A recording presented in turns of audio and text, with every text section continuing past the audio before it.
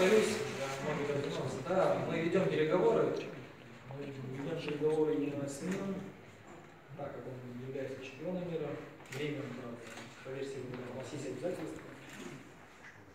Наверное, больше всего в процентном соотношении он привешен, если следующий бой получится именно с ним. Мы также разговариваем и Вилли сам ну, то есть пока это уже все разговариваем.